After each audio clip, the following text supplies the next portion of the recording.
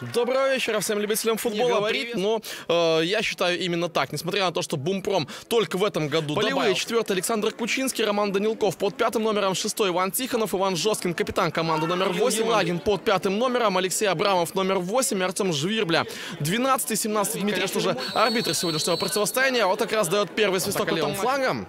Будет ли подача штрафную? Нет, передача назад. Дальше скидка аккуратная такая низом. Интересно, паст Кухаренко. Удар с дальней дистанции. Мощный удар в створ ворот. Жесткин пробил и хорош Сокович. Оставалось и... Эх, не любили нас некоторые представители старшего поколения. Ну, что уж поделать. Атака пока от Бумпрома. Опасная. Прострел нужно решать. И нет удара от Воробьева. Роман Данилков. Он сейчас мячом скидывает середину на Кухаренко. Кухаренок неплохо в касании. Но это, конечно, не позиция для удара, да и неудобно. Кухаренок развернулся. А вот это тоже позиция для удара. И это удар поворотом в дальний угол.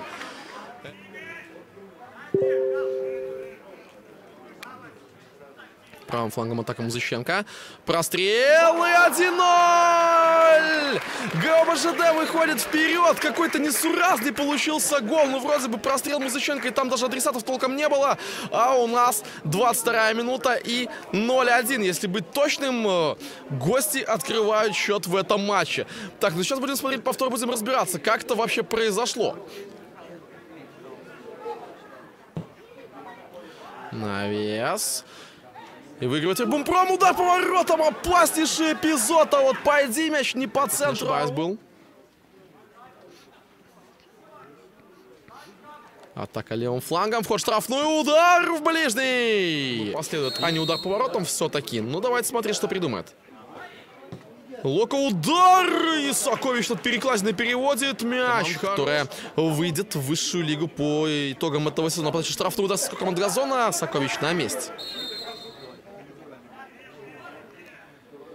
Еще штрафную отскок опасный вратарскую и мяч у Новичкова. Подброс снова за ГОБЖД.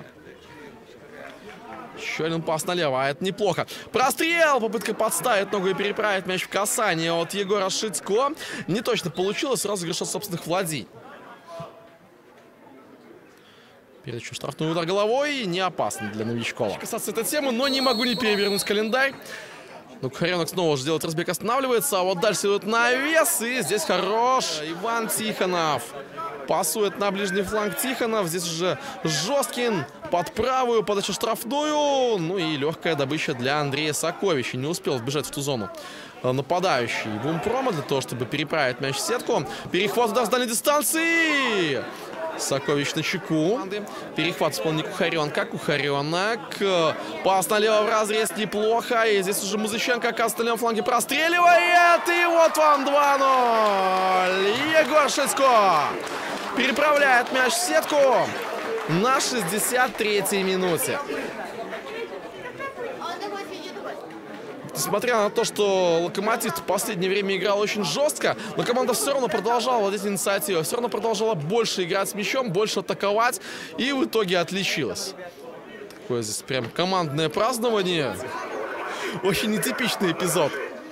Но, ну, по крайней мере, я уверовал в то, что к офтальмологу мне пока рано. Абрамов налево.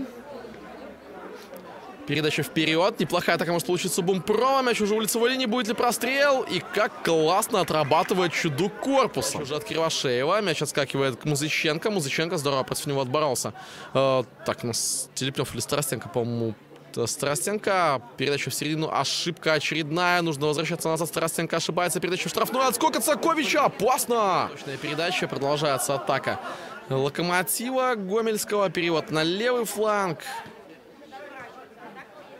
Ну что, может пробиться? Почему бы и нет? Позиция хорошая, удар поворотом! Что Сокович делает? Каким-то чудом мяч не оказался в сетке после удара от своего соперника Кучинский. Звучит свисток, все.